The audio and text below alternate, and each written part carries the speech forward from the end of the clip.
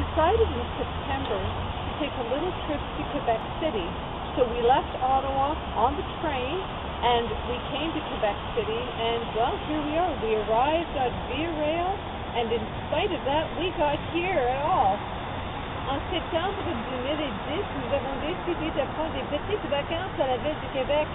Alors nous avons pris le train qui commence à Ottawa, qui a traversé euh, euh, vers euh, euh Montréal, et puis nous avons arrivé à Québec, même si dans l'horaire.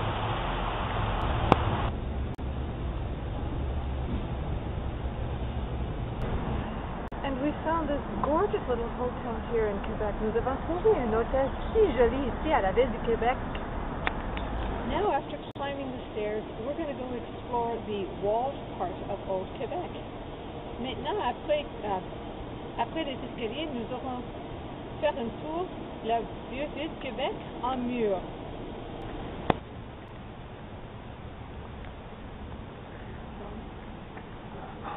There is no wind, and yet I see movement in the clouds.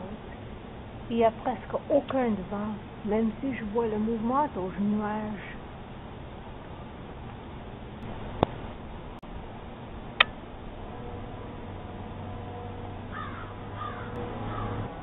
Peut-être c'est la cloche d'une église. Not sure.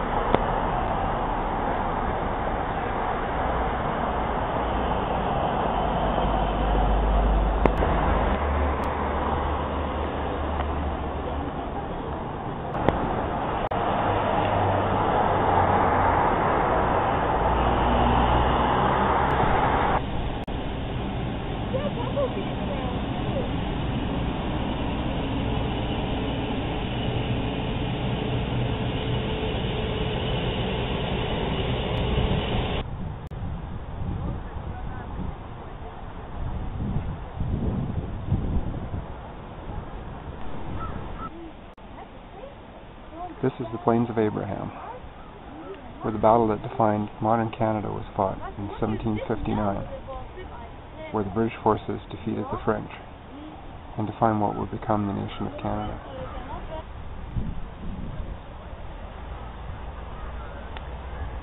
The whole reason for coming to Quebec City, chocolate museum.